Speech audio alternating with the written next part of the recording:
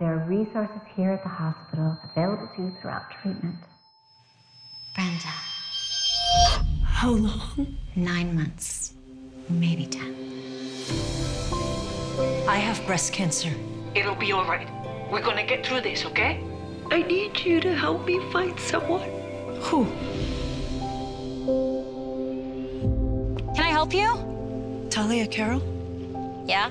I'm your birth mother. This is not exactly how I pictured our first meeting. Tell me about it. What's your plan outside of treatment?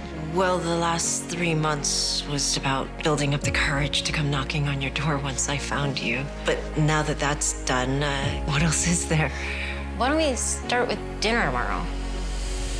What's she like, this shiny new mom of yours? When I asked her what her plan was for the whole cancer thing, she didn't seem to have one. She's got nothing? Not even a bucket list. So, your parents, They're really good people. I've been lucky. what do you do? I'm a writer for a website that covers news and culture. What do you think about a bucket list? Haven't you always wanted to do all the things that you've always wanted to do but were too afraid to try? I, I don't know. We could do it together. Number one, Quit my job? with a bang. I'm sorry, I don't think I can do this. Forget about everything you're afraid of. Repeat after me.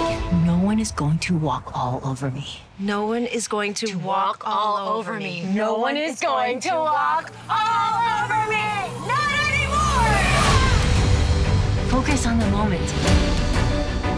Live for now. Let's do this together. Something's changed. There is a spark, but it needs a match to light it. You are that match, Talia.